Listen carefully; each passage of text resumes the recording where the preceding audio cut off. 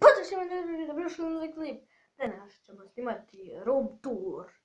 Niko mi nije to tražio, ali eto, nisam imao šta raditi da snimim klip. Eto, idemo.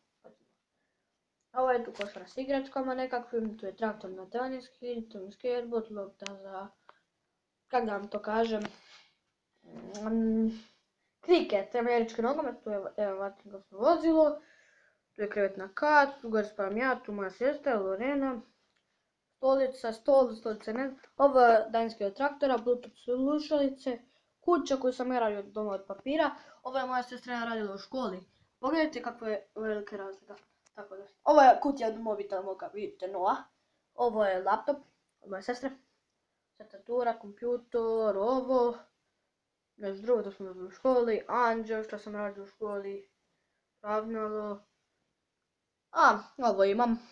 To je od moje sestre kad ona isto tu nekad spava. Kad je ovo bio prije moja i njezina soba. I onda, znate, vidite. To je prije bilo tu, ali tu sam nalijepio ovu ploču, vidite ovo. To vam je ploče, na to pišete. A ovo su vam taj naljepnici, to je bila rana dobila od Đubić Vile. Vidite, tu vam piše, na vam piše boj da, cure ne, samo smijuće Helena i mama i, sestra. A ovo sam si rata pa... A ovo ti je, ovo, sam dobio za svoj rođendan. To ovo je nekako odjelce malo. Tu još jedan optičan tenis. Ovo je moja torba za njemački u Bjelovaru na Puškom učilištu. Tu mi stoje knjige, tu mi je ladica neka pošarena. Ma, razbacana je, nemate vi šta to. To je moja soba, evo, tu imam par. Tu imam, to mi je kuma dala moja kornjaču. Ostavio sam se znači kako da pobojam, ali nisam nikad pobojao. Neymar, bar mislim, da. I dolje još neki jedan.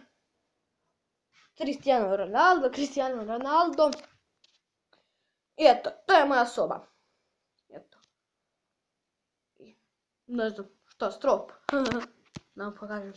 Ne znam šta više. Vidite, ako, mislim da ne vidite, ne vidite vi. E. Joj. Mam je sakrila krede kad je moja sestra vrvila i onda, eto. I to bi bilo to za ovaj klip. Vidimo se u sljedećem klipu. Napa, napa, rap, znam se. I vidimo se u sljedećem klipu. Ploča vas pozdravlja. Ćao!